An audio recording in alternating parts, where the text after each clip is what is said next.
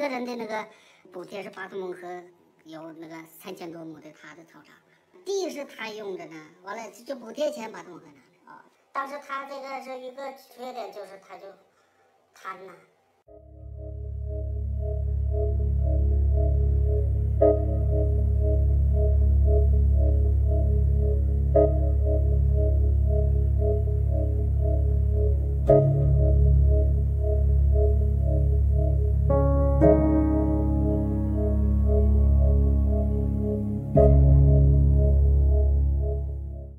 就是他没当队长之前，你们村民都牧民都知道他杀过人吗？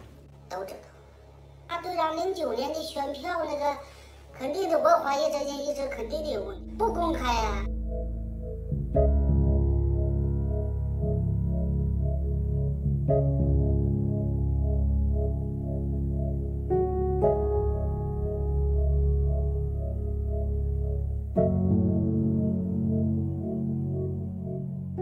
咱们看到的人咋没有呢？呃他那尿道症什么什么症，呃，肿了怎么就出来就当队长了呢？出来就社会上啥毛病没有呢？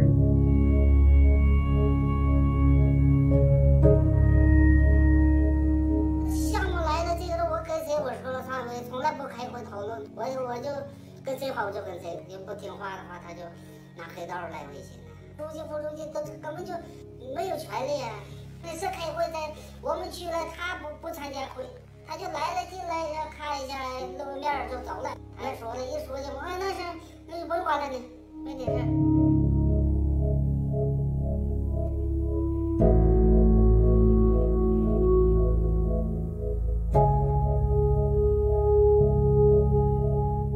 我的处分是那个啥，就那车，嗯，呃，把那干啥的钱用着买了个那个什么那个二手车，那用了就那个四万块钱，八四万块给的，反正哪个钱我也不知道，好像是生态不太好。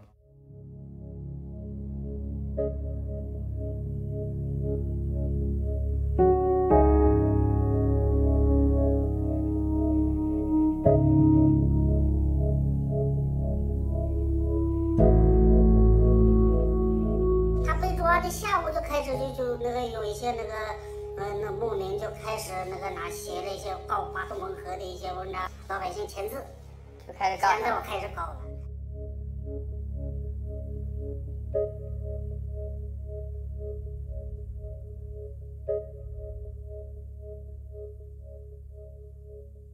我现在要求彻查到底，谁放的？当初谁放的？